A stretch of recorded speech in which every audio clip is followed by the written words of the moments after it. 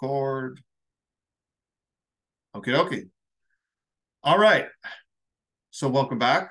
Today, we're going to be talking about weight loss. So, weight loss is something that is kind of well a it's something that i kind of dealt with personally so uh, if you guys haven't heard my own story yet um it what one of the parts of this is uh i was someone who was an athlete in college. Um by the way the link is in my bio if you go check it out. The link is in my bio. It says link to join the thursday calls even though today's friday it will be thursday going forward. Okay with that out of the way. So, um, with that, yes, my story. So, weight loss. Weight loss is something that's near and dear to me. I, again, this is not meant to be something that is, you know, against the the the body positivity type of movement here. That's not what this is about. I think there are aspects to the body positivity movement that are great. Um, but what I see is we're kind of entering this dangerous place where it's kind of going too far. And we have to understand that you can love yourself and heal and understand that there are risks that come along with being overweight. And that is, and there are things that you can fix with that. That's what this is all about. This is about helping and healing and bringing that stuff forward. This is not about, you know, trying to, shame anyone or anything like that. This is about giving real practical solutions and more importantly, why this stuff happens. Why? And then because if you understand why, then you understand how to fix it. So with that, what I want to do is actually kind of go through some of the stuff that I have here. And we'll we'll kind of jump into it. So what I want to start with is like you have to understand that like I believe the numbers like over 700, it might be close to like 800 million people worldwide are obese. And what we need to understand that this is a sign of an endocrine problem. There's an endocrine issue. So, you know, in other words, it's mostly a hormone problem. Yes, calories are going to play a role, particularly in the modern world where everything is super high in calories and not very high in anything else as far as nutrients and things that you need. This is partially why we tend to overeat a lot of processed foods or foods that are, are enriched or fortified with most of the time it's actually usually like fake or synthetic versions of vitamins which are not nearly as good as the naturally occurring ones that should be no surprise so what's happening then like that like we're not getting what we need and and why you know, are there are there an issue with our hormones? And this could be digestion, it could be pancreas related, it could be a lot of things. We're going to kind of cover it. Um, but you know, calories is the big thing that comes up. So we have to kind of dispel that myth first. Now, I'm going to share my screen quick here on Zoom because you need to understand like where calories kind of come from or you know so what, first of all, what is a calorie? We need to define that first. So a calorie that you see on a food package is actually something known as a kilocalorie. That's why it has the capital C. So you'll notice that's that's never a typo. A capital C is going to be something is actually a kilocalorie. In other, in other words, 1,000 lowercase c calories. So a calorie, all you you also see it sometimes as kcal is the amount of energy needed to raise the temperature of one kilogram of water one degree Celsius. That is what a calorie is by definition. So, with that in mind, like get the real, like essentially the concept, or at least if we try to put it in this mathematical framework, it's like you eat X amount of calories, you will gain, get X amount of energy. But if you have too much energy, then the rest will be stored as fat, and that's it. The body's a calculator. That's kind of where it goes. Um, so, you know, that becomes a huge issue because if you look here at what a bomb calorimeter is, and this is what it is here. So, you would put you know your food or or whatever you're measuring kind of in here it's surrounded by water and you see um, that it it, essentially causes a, a, a big problem here. So so that's ultimately like what's going on. And this water, when it rises in temperature, that's what that's what you would then call a calorie. What what how much energy do you need to do that? So it might not surprise you to think that this is not necessarily what digestion in the body kind of looks like. You're not actually burning food. That's what we we, we call it, or, or that, that's the colloquial term that's used, but that's not actually what's happening in the body. There are plenty of enzymes, things like ptyalin, things like you know your actual teeth. There's mechanical breakdown. There's stomach acid. There's digestive enzymes from the pancreas and bile, and and uh, proteolytic enzymes and amylases and lipases and all of these things that break down food. It's not the it's not working like this thing would. That's not actually how it works. So just looking at food as if it's like, oh, it's a calorie in, calorie out model, we already see like doesn't work. And, and yes, if you grossly overeat calories, which again you are going to do if there is low quality, calorie rich foods, which are most of your processed foods, that's yes, that's going to be an issue. But the other issue is there's energetics, there's hormones, there's so many other things that are involved here.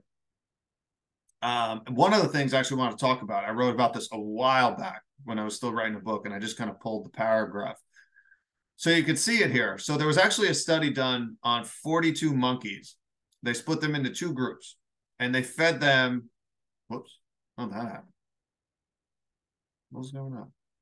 And they fed them the same amount of calories. Where'd I go? There we go. The same amount of calories. And what they found, I want to leave the site. What's going on? Okay. Okay. Anyway, I don't know what's going on there. Um, and what they found was they were both fed the same amount of calories. They broke it down from, and they were changing the fats that they were eating. So one was given uh, more like natural vegetable oils, which, on, as a side note, are probably not great, but the others were given things like trans fats and artificial fats. And what they found, even though they uh, controlled for the amount of calories that they were given these monkeys, the ones with poorer lipid profiles, poorer heart markers, uh, gain more weight despite the calories being controlled, were the ones on the poorer quality foods. So it can't just be, oh, it's, you know, um, it, it's the amount of calories, it's you need to work out more, you need to like, and obviously that's something you should be doing, but it's not that simple. So we need to really understand like what actually causes weight gain. And like I and this old model, as we're kind of talking about, of calories in, calories out, like does not work at the level that we're talking about where people are like measuring food on scales and and all this it, it, no no. Like yes you can grossly overdo it but we're not talking about that type of thing here. We're talking about generally speak like if we're adding five more calories a day that means you'll you'll slowly weigh more. It's like no no.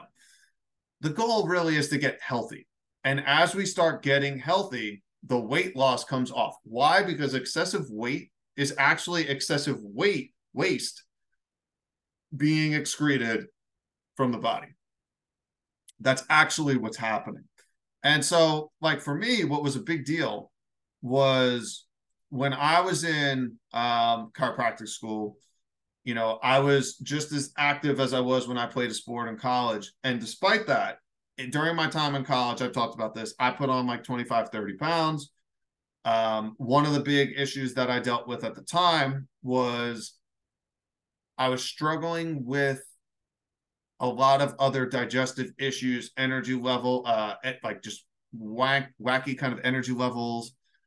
Um, I developed seasonal allergies, which I never had before. And I just figured this was like part of getting older, which is preposterous when you consider the fact that I was like 20 at the time. Um, and, and even though my activity levels were still very high, I still kept putting on this weight and I thought it was just working out more, but like that was not the case. It was literally the quality of food was getting so much worse and and there were obviously other things going on too, but that was such a big part of it. And I'll take that to the next step. So there's actually another study that I actually covered when I was writing this book. Um, they there was one study they took 12,000 runners who subscribed to Runner's World magazine, which was a magazine back in the day. Actually, it still might exist. I'm not totally sure.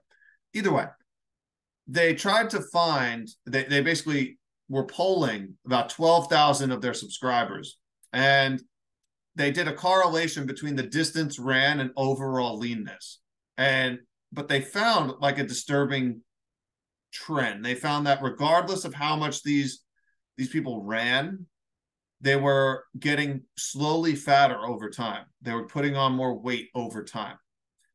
And they found essentially the study designers like when they were doing their their calculations they eventually concluded that if every runner added an extra four to six kilometers per week they would maintain a stable weight. Now obviously that is ridiculous. Um, but that needs that that is important to say because probably outside of running a lot of these folks are not exactly living the healthiest lifestyles and that is playing a role so like we tend to throw it to like, oh, we're getting older, oh, we're doing this, and it's it, it's not that, and we're going to get into why. Now it's going to start with talking about the lymphatic system here, um, and I got to actually pull up. Actually, I'm going to add this graph because I need to kind of show you this because this is important. Um, let me get it up. I know this won't be great for YouTube, but that's all right. We're going to survive together here. I want to find a picture for you and add it so I can share it because this will be worth the wait in one second. By the way, if you're on Instagram, you go to the link in my bio. You could join this live right now if you want in the Zoom room so you can actually see what I'm talking about so I can share my screen and um, you could see what I'm talking about, which I think is kind of important. Okay because I am sharing diagrams and stuff. So we have to talk about the kidneys. We have to talk about the lymphatic system when it comes to weight loss first. Why? Because again, a lot of excess weight is excess waste that we're holding on to, and it starts with our lymphatic system. So let me share my screen again.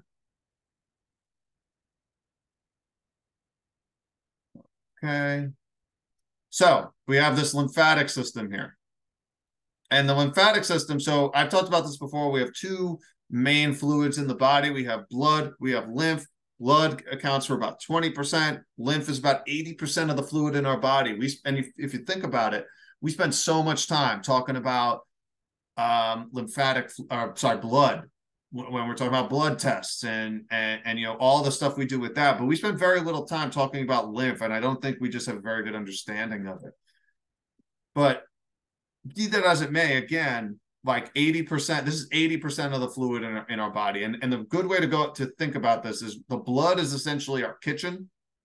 It delivers nutrients to tissues, to cells, so that they can do whatever they need to do. Cells, like us, we eat food for energy.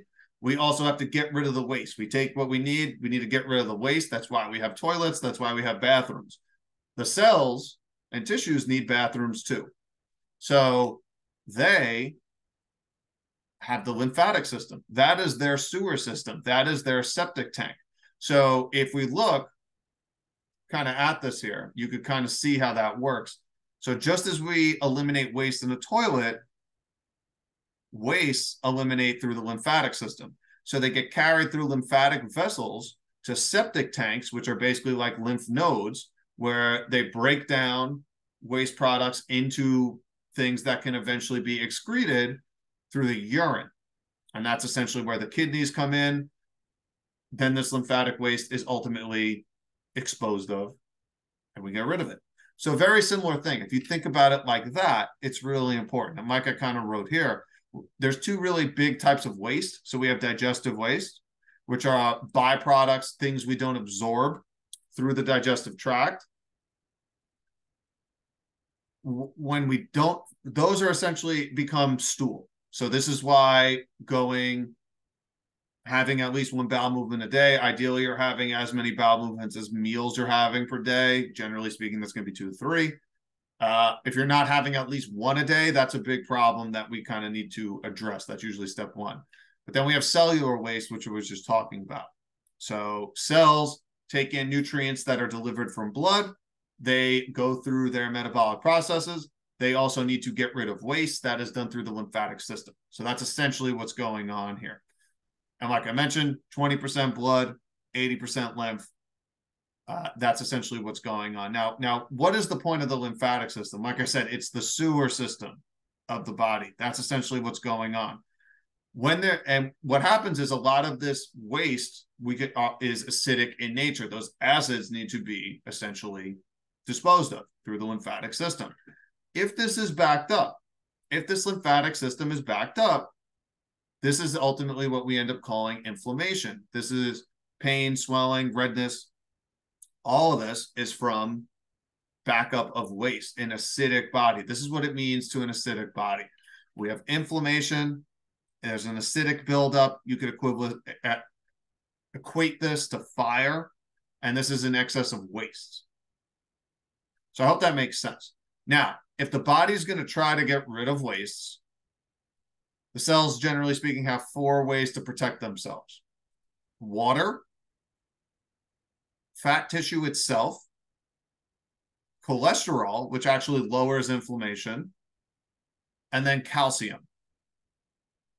So, yes, like I talked about, there is a caloric factor to this, but if we're not getting rid of the waste, you need to understand that there's going to be a backup and it's not going to work as well as it should.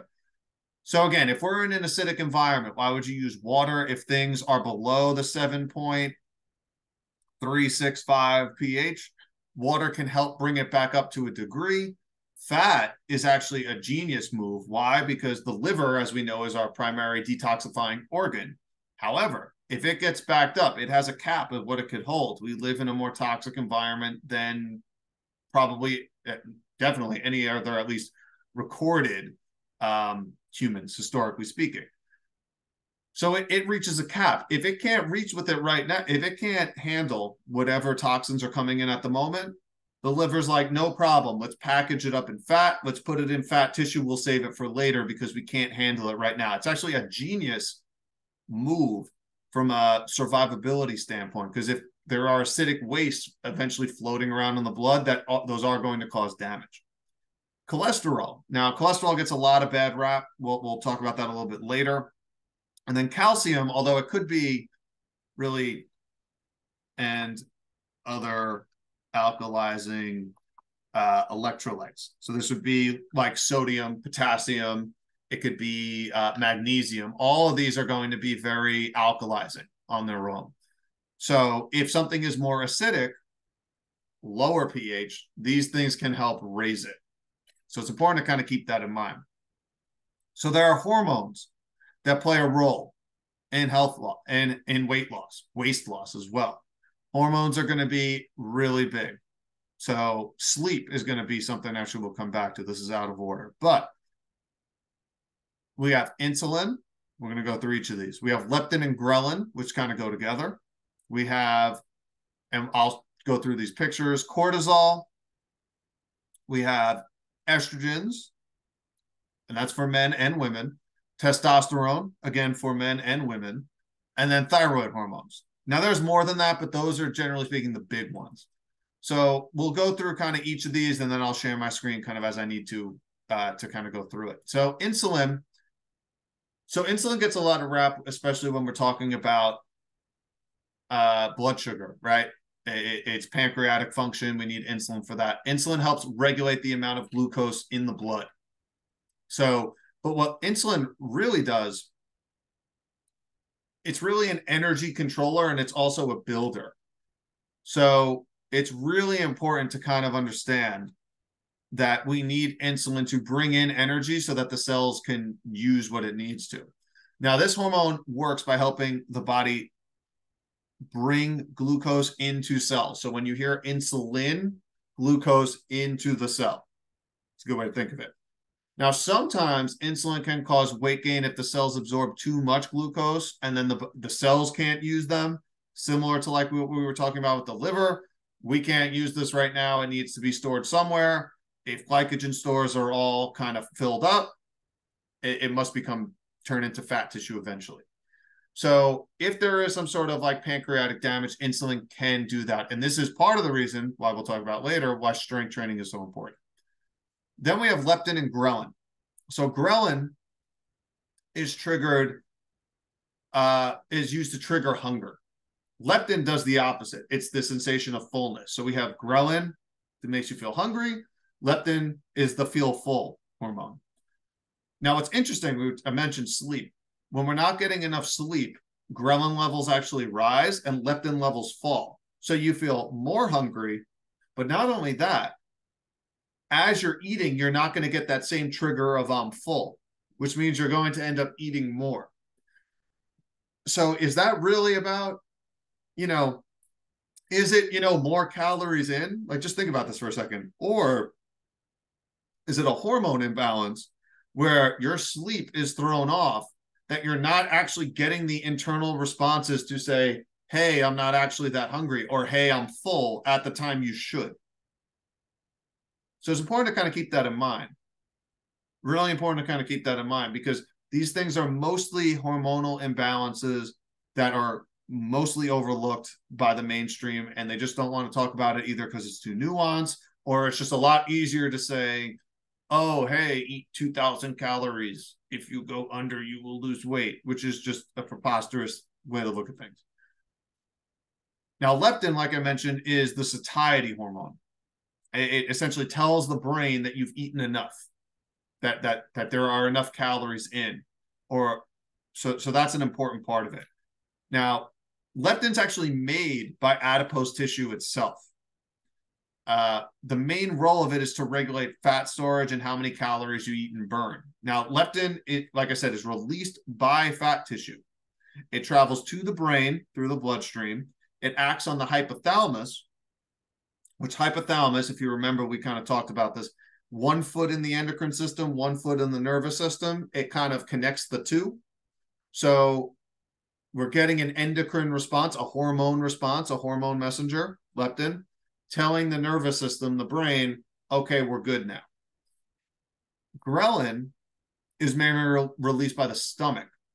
And it, it happens a little bit in the brain and in the small intestine uh, and the pancreas, but it's mostly in the stomach itself.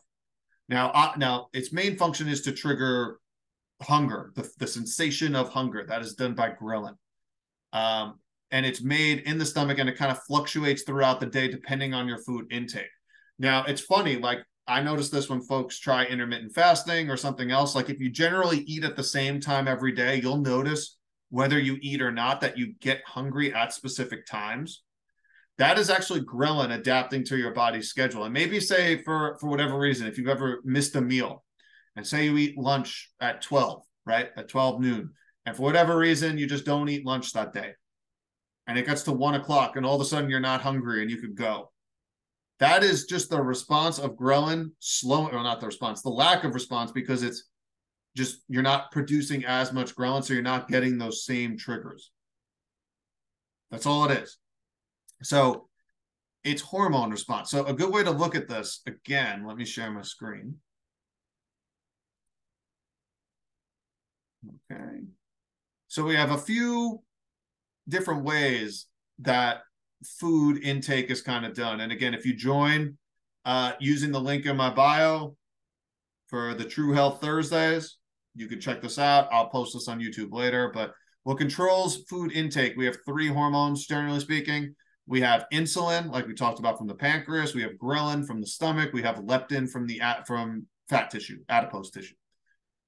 That is essentially how what controls what is hungry or what how we are hungry. What is hungry?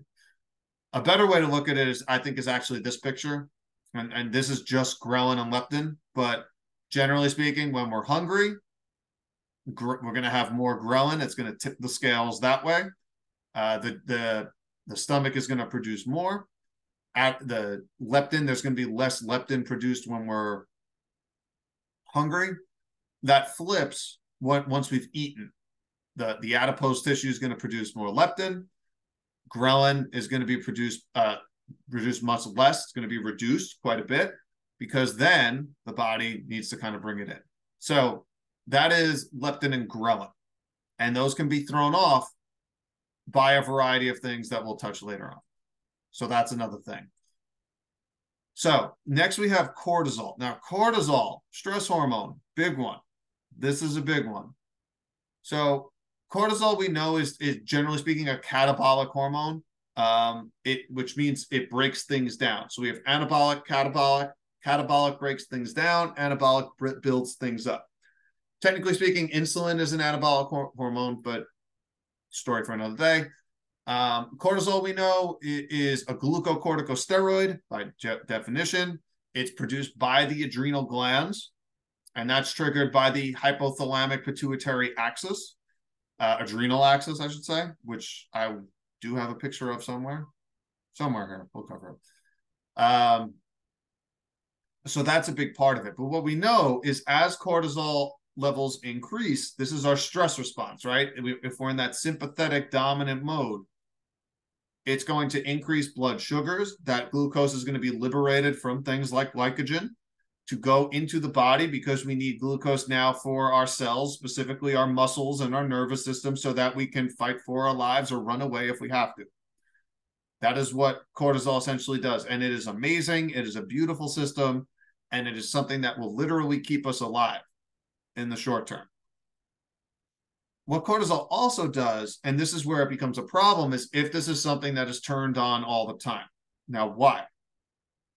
Part of what cortisol is going to stimulate is fat and carbohydrate metabolism for fast energy. Remember, fats and carbohydrates are our primary sources of energy. Ideally, carbohydrates. E- either way, these things are going to be, get turned into glucose for energy because that is the form of energy that the body needs. That is the form of energy that the brain really wants. Uh, but what happens is, you know, if we use this up, say, really fast, use up those glycogen stores, a couple things are going to happen here First is we're going to get cravings for sweet, salty, high fat foods. Now, why is this important? Because we know for a fact that the food industry, particularly the big food industry, literally creates processed foods that are salty, sweet, and high fat to give you that cocaine dopamine spike to eat more. This is why you know, if you have one Pringle, you end up eating half the tube or or something like that. It is because these things are created in a lab to hit all those dopamine responses. And this is why when you have something that's processed and is sweet, salty, high fat, they literally hit the same cocaine receptors, dopamine receptors in the brain that are similar to cocaine reactions, to to the to as if you were doing cocaine. And I use that because so many people have addictions to processed foods and don't put the two together. But the response from a neurological standpoint is actually the same. It's an it's an addiction.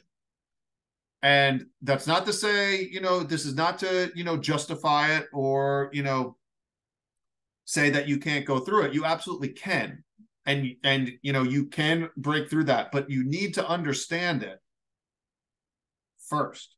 So if you have these cravings for sweet salty high fat foods all the time chances are you're in a fight or flight adrenal dominant sympathetic dominant use whatever uh, hypoth- uh, hpa axis dysfunction all of these things they're all the same. It's high cortisol. You're going to use up or ideally use up uh, you know, whatever glucose stores you have, uh, fat stores you need in the short term to create energy. And on the other side of that is going to be this response for things that are sweet, salty, high fat because of that response. Important to understand that. Now, obviously, if we're not actually running for our lives or fighting for our lives or in like a truly life or death situation, which 99% of the time it isn't, what happens is after all this gets liberated, it's not actually being used by the brain, by the muscle tissue to survive. So what happens? It gets circulated. It's going to fill up the glycogen stores, but the glycogen stores are going to be filled up faster. There's going to be excess glucose. One that's going to potentially raise your blood sugar, which leads to an issue with insulin. So you're starting to see how this is starting to come together. High stress can potentially lead to high blood sugar just because you're mobilizing glucose because of a stress response. If it's not stored as glycogen, the rest of it's going to end up getting stored as fat. This is why you'll actually see people, especially at the extreme end, so like Cushing's or, or, or depression, it gets stored as fat, and usually that's around the belly. So when you see those types of body shapes, particularly around the midsection, usually you can say there's some adrenal dysfunction potentially. There's a, a, a, stress response that's constantly going off that's playing a role in this. Important to understand that. Estrogen. Okay, estrogen is also something that can play a role in in um, weight gain and loss. Most notably, uh, so first of all, estrogens have a lot of different functions. They support the growth and regeneration of uh, the female reproductive organs. They help regulate the menstrual cycle. They affect the growth of breast tissue, healthy libido, helps actually maintain healthy cholesterol levels, which is really cool. Helps maintain a strong pelvic floor. Helps support this the the health of skin, hair, bones. Um, it also helps uh, with mood, brain function. Um, and, this is why, and this is why it happens all the time. But uh, and I understand there are cases where you may or may not have to have something like a hysterectomy, but but you need these organs are not they're not optional. So, you know, if you have, say, a hysterectomy, then, you know, unfortunately, you will probably have to be on bioidentical hormones for the rest of your life because you're actually taking out an organ that is supposed to produce something that you now eliminated from the body. It's the same thing with thyroid hormones. If you've had a thyroid ablation, this is where medications unfortunately have to come in because if you are literally removing body parts, that is different. Can you regenerate things before you get to that point? For most people, yes, you actually can. But once you cut it out and go through the surgery, that's a different ballgame. And it's important to kind of understand that. Be that as it may, if estrogen levels are too high or too low, it can cause weight gain. So it's important to understand that. Uh, it, it, can really go a long way. High levels of estrogen can actually irritate cells that produce insulin. It could irritate the pancreas. It could actually lead to insulin resistance. And with that, sometimes comes along weight gain. So that's important. Um, and here's like a visual that I kind of pulled up. Let me kind of share this.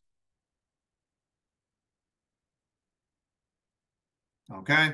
So we see here estrogens have a lot of different actions. Uh, now, the adrenals actually produce some estrogen as well. That's why males uh, also have estrogen, and that's not a bad thing. Uh, but there's a lot of different things here. So, libido, mental health, memory, muscle strength, uh, bone strength as well. Um, obviously, it's going to control or be part of everything that goes along with your cycle. Um, you know, it could, it really helps with bone health, increase cholesterol and bile. So we talked about cholesterol storage. There's a lot that estrogens actually do. Now, on the flip side of that, we have testosterone. Now, testosterone, uh, again, females have testosterone just like males have estrogens. It's just in different amounts, and that's okay. Um, but what happened? It's basically responsible for most of the same stuff, just in in the male sex, right? So, sex drive, erections, the development of male sexual organs, bone mass, muscle mass. That's already sounding familiar. Uh, distribution of fat, the development, the development of facial hair, body hair, etc. Testosterone's involved in all that. Then we have our thyroid hormones, which I don't have a good picture of, but it's important to talk about thyroid too. Now, thyroid is essentially the gas pedal of the body. It controls all of the aspects, essentially, how fast is your internal body working? That's the job essentially of what it does. So it's going to control your metabolism. It's going to control how well your body's absorb and utilize glucose, how you use amino acids to build proteins for growth, how you utilize fats, your heartbeat strength, your heartbeat rate, your respiratory rate, how deep you breathe, Uh, the rate of calcium absorption from the blood and the intestines and the bone and the kidneys. Why? Because that's the, the parathyroid, which are essentially nodules on the back of the thyroid gland. They're responsible for calcium absorption and regulation in the body. In hypothyroidism, generally speaking, you're going to have lowered function of the thyroid glands, which usually can lead to weight gain. Now, why is this important? Because, in my opinion, and I've done other videos on this, is that I am yet to see a thyroid problem that is outright a thyroid problem and does not have a stress or adrenal component. Now, why is that important? Because we already talked about the adrenal glands, cortisol, right? High stress response. So if you have a high stress response, high sympathetic response, that is going to lower your thyroid function. They can't both be active at the same time. So, what's happening and why is this important? So, let me share this again because this is important. This is an important thing to kind of understand is that if you have a physical, chemical, emotional stress, there's only three physical, chemical, emotional stress response. Talked about that. What's going to happen in a stress state? Trying to survive. Heart rate's going to increase. Blood pressure is going to increase. Blood sugar is going to increase. Uh, cholesterol, cortisol, all stress hormones. These are all going to go up. Why? Because we need to survive in the moment. We need to make it to the next five minutes from now. But what decreases? So gut blood supply, actually like only a quarter of the blood that would normally go to your gut to help with digestion it all gets shunted to the muscles, to the brain, to the nervous system, so that again you can survive right now. The immune system, but where is most of your immune system located? By the gut, it, about 80% of it. So there's going to be lowered immune system function in a stress state. Your body's going to basically stop regenerating itself if it's in a constantly stressed state. You need to be in a calm, relaxed state if you want to experience regeneration. Also, it's going to basically shut down a lot of your glands as well. So that includes the thyroid and also other things. So TSH, thyroid stimulating hormone. This is not actually a thyroid hormone. It is something made in the brain so that you can to tell the thyroid what to do. So you're going to have low thyroid function in a high stress response. So what I see in most cases is it's not really hypothyroid. Sure, that might show up on lab work, but if you ask folks who are in this space, the window closed. What, what just happened? If you ask folks who are in this place, space, and, and who are aware of it, they will tell you that thyroid, just checking for thyroid stuff in general, is not very reliable in general. So, and you need to have all the markers, which very few doctors actually run. That's a separate story for another day. So, what's going on? And I apologize. I don't know why my Google Chrome, I think, just crashed, but we got it back. So, let me share this again. So, we have this is what we're building towards. We have our sympathetic and parasympathetic nervous system, and they basically work as opposites. So we have, I'm going to Try to make this a little smaller so it's a little easier to see. That's too small.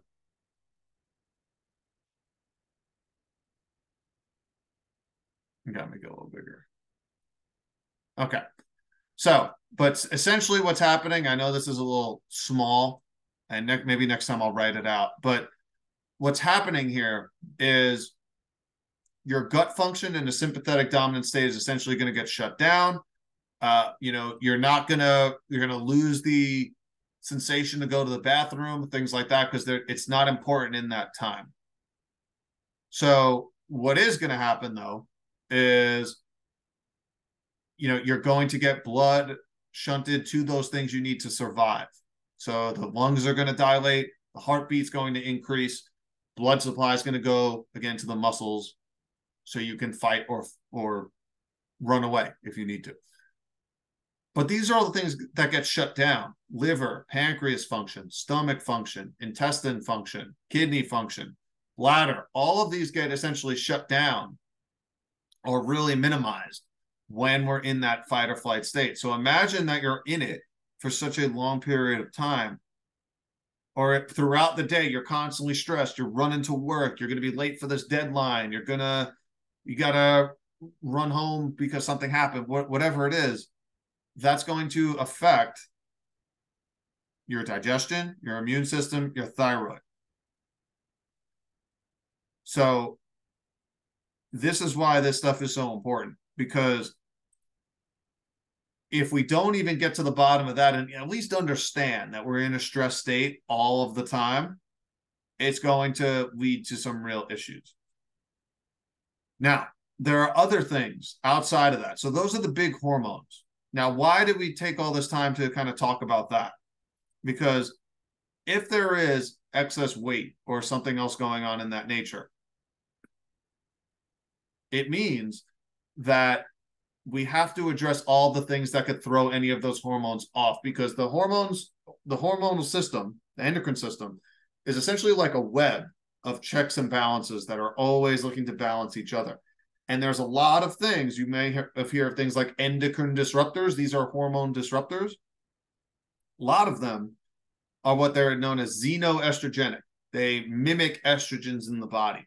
This includes, believe it or not, things like glyphosate, a lot of pesticides do this. If you look into the work of someone like Shanna Swan, I believe her book is Countdown, if I remember correctly. Um, she talks about this more from like the framework of men in general are, lower have much have much lower testosterone levels now or like a 30 year old now has the testosterone level of like a 60 year old 50 years ago some those numbers might be off a little bit but somewhere in that ballpark that's pretty scary. But a lot of that is from all of these endocrine disrupting, the xenoestrogen like materials that modern folks are exposed to. And a lot of that is through the food supply, things like glyphosate, atrazine. Um, a lot of these pesticides are estrogenic based. So when we're seeing not only lower testosterone levels in men, but now in women, PCOS, a lot of uh, cycle issues. We were just talking about hysterectomies. Uh, like all of these things are more common now. And could it be because we're bringing in all of these excess estrogens that are throwing off all of these hormones, which can affect your ability to lose weight? So you're starting to see how all of that starts to play a role here. I hope so with glyphosate in particular, there's a lot here. So actually, in 2010, Monsanto actually patented glyphosate as an antimicrobial. Um, and it, but the problem is it actually damages a lot of our beneficial gut bacteria more so than the pathogenic ones. And remember, the the universe is fractal. So we are humans in an ecosystem of, say, a neighborhood and an ecosystem of a city to a state to a country to the whole planet we have ecosystems inside of us. Each one of us, if you were to count up all the cells in our body, are only 10% human. The other 90% are not us. And if you were to look at all the, the genetic, the DNA inside of us, 1%, less than that, is actually human. Over 99% of the genetic material inside of us is not human. It's bacterial in nature, it's viral, it could be fungi, it's an ecosystem inside of us. So next time, you know, if you're feeling really like let down or oh, you were told you have this mutation or an MTHFR mutation, understand that like inside of you, that is less than 1%. And that's one gene. So 1% of that. So don't get caught up in this. Understand that this is an ecosystem. All of this stuff works in fractals you're seeing as we treat the planet more poorly by spraying most of our foods, by using petroleum based pesticides, uh, by depleting our soil, we're seeing the health of the planet deteriorate. We're also seeing the health of the average human being, especially here in America, deplete. You could say, "Oh, it's correlation, uh, uh, correlation. There's no causation." Well, at some point, you have to zoom out and like, as particularly when we're talking about things like glyphosate, where we know we have actually been, you know, have been shown in court that this is killing people and it's still causing issues. It's still out there on a regular basis. What is going to change the health of human beings is realizing that we're not actually individuals. We are individual ecosystems that are parts of bigger ecosystems. And everything, all of it, is connected. This affects how we think, how we breathe, what we put in our bodies, who we spend time with, who we socialize with, uh, what we drink. Uh, all of it is related. So I know that sounds great, but what we need to understand is like this is a diversity. Like this is a diversity issue. So what does this all mean at the end of the day? Like when we're talking about what do we do? How do we get out of this? Like, what is the way to actually start losing weight to in, in a healthful way where we're not restricting calories and pre- pretending we're calculators when we're not? And I understand it's a headache. I really do, because I was there. I came up through that that gym bro science, whatever you want to call it, space. That's how I got. That's why I went to chiropractic school because I wanted to go into sports medicine because I worked with other athletes. That was what did it just as you go down that path and understand that all these things are connected, I would highly suggest going back and watching something like Food Inc., which is one of my favorite documentaries of all time. Uh, you can watch Seeds of Death if you want to watch more about um, uh, glyphosate and pesticide usage. So, really important to kind of understand that. Now, there are emotional parts of this too, right? Because we have physical, chemical, emotional stress. What we need to understand with that is where is most of our we talked about dopamine a little bit before. That's our reward neurotransmitter. But even more specific than that it's actually the build up to the reward. So it's not the reward itself that spikes dopamine it's the movement towards it if that makes sense. Because what happens is after you reach it it's going to drop and then you need to find a new reason to motivate yourself right now, what happens is serotonin, which is another hormone that really makes you feel good, a neurotransmitter that makes you feel good, and dopamine are primarily created by bacteria in the gut. So most of your serotonin and dopamine is created in the gut that is then brought up to the brain. So, you know, if, if that's one part of it is understanding the connection again between the gut and the brain and that element of it. But the other part of it that's really important here that I hope comes across is like maybe sometimes, especially from an emotional standpoint, a lot of it comes down to just spending time with yourself and getting to know who you really are. At the end of the day, you have to realize we everything is one here. We are all actually one collective consciousness together. But we, are, because of so much time on social media because of so many distractions and bright lights and all these things competing for your attention at the same time we don't take the time to really sit down and be like who are we? Who am i? What you are actually is just source. You could call it uh divine. You could call it uh god's creation god's image and likeness. Uh, that was something i heard a lot. I went to catholic school but whatever it is it's all the same. It's it's the same concept. Point is like you have to realize at the end of the day you are source. And from your mind you can actually create reality because all power is is the ability to have a thought and have it manifest. And the quicker you can get from thought to manifestation that is all power is. Power is not a bad thing. You your mind is the most powerful tool that you have why because that is the generator of the thoughts. And as you start to sit with yourself and get more comfortable and really peel back those layers with what's going on, you can get to a point where you realize, oh, I know I'm outsourcing my power to this one and that one to make that decision, or I'm outsourcing, you know, my power to this person because he's going to fix my problem or she's going to fix my problem. And when you peel all that crap back, you realize, oh, at the end of the day, I'm the one who is giving that power away. I'm the one that can make the difference. Now there's a lot going against against us right now. Like I said, we have literally foods that that create cocaine addictions in the body and, and it might seem like well holy crap how do we get away from that how do we get around that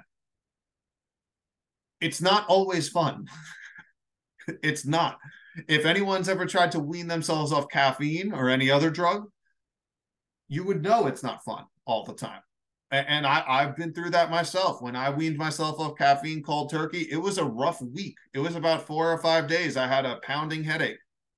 And you know what? Sorry about that. At the end of the day, I felt a lot better. So it starts with by realizing that you're not the victim, that yes, there's a lot of stuff against you. The, the modern society is not meant for you to be healthy. You have to active you have to actively participate in your own well-being. It is not that easy. But anything worthwhile is. And it starts by thinking, "Oh, I can get there." and don't put a cap a time cap on it this is something you're going to be doing for the rest of your life so expand that timeline and the more people that can expand the timeline that can see okay this is just the step to the next step your chances of success are going to be much higher than someone who says i have to lose 20 pounds in four days or in a week because they're not seeing the bigger picture they're living in a space of lack and fear and they're not living in a space of creation and and really wanting to cre- to create a life that is going to benefit not only them in the short term, both physically and financially, but in the long term.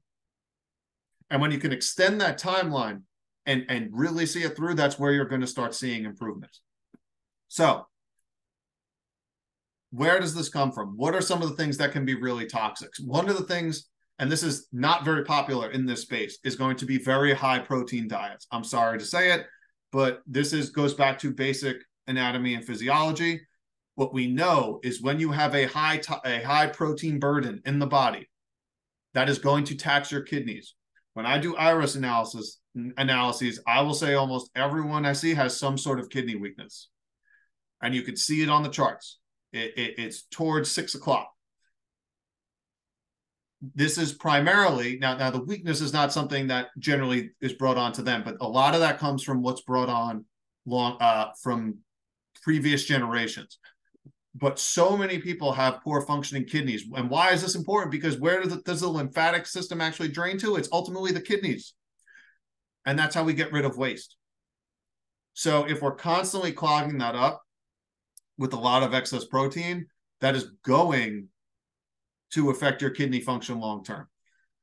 Another thing that, uh, yes, actually, fear. Thank you for bringing that up, Victoria Johnson. Fear. So, fear is actually the emotion that's associated with the kidneys and bladder.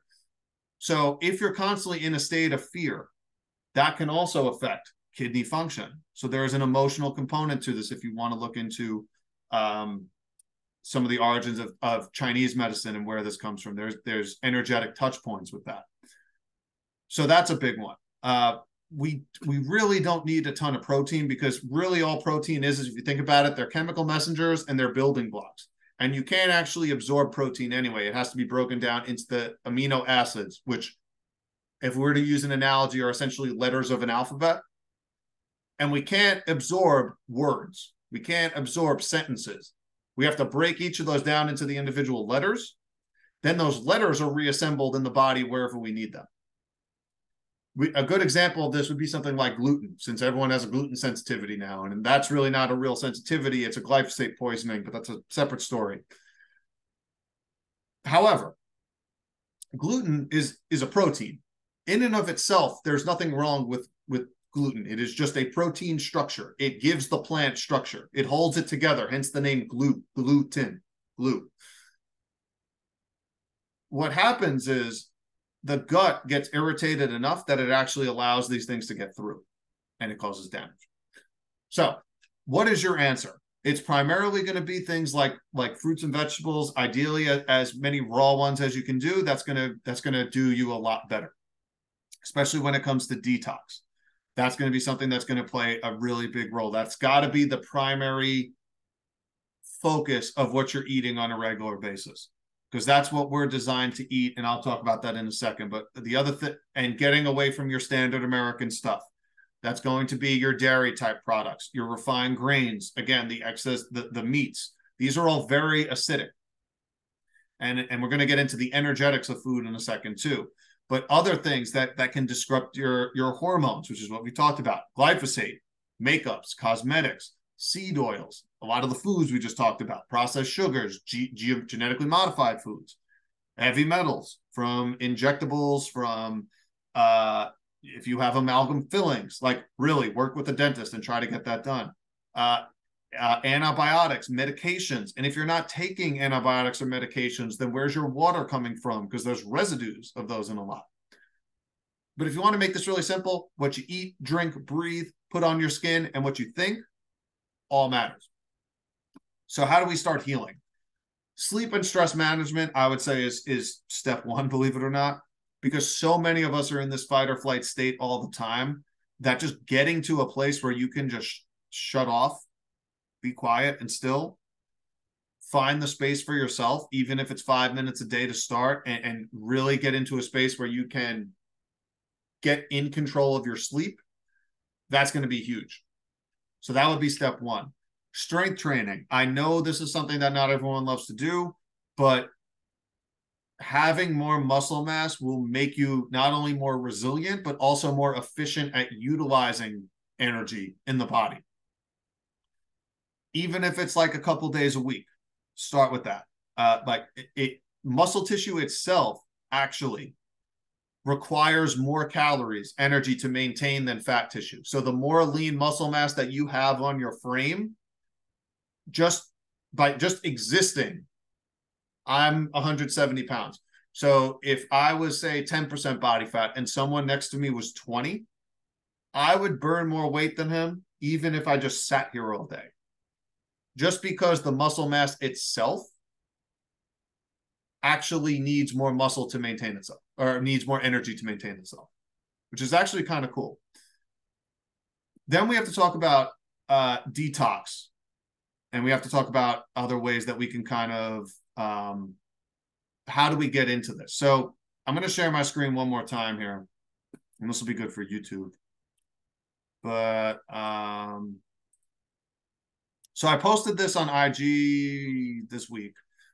But starting with this, this kind of like is a is a graph of what's really going on here. So most of the stuff, most of your typical American stuff is going to be down here. And detoxification is always happening. It's just are you accelerating it or are you slowing it down?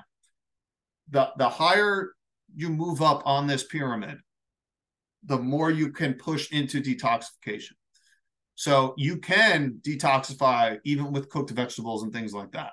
If you go to all raw, that's going to push it even further. If you go to fruits and leafy greens, that's going to push it even further. If you go into juicing, that's going to push it even further. This is something that I work with people one on one on. So, and I didn't even get into the energetics of food today. I've already been on here an hour. I'm not going to push it. We'll talk about that next time.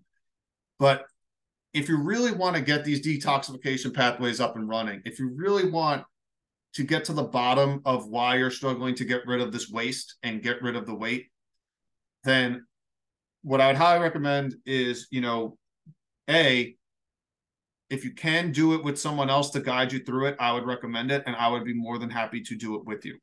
So if you're on Instagram, you could DM me detox, let's call it that.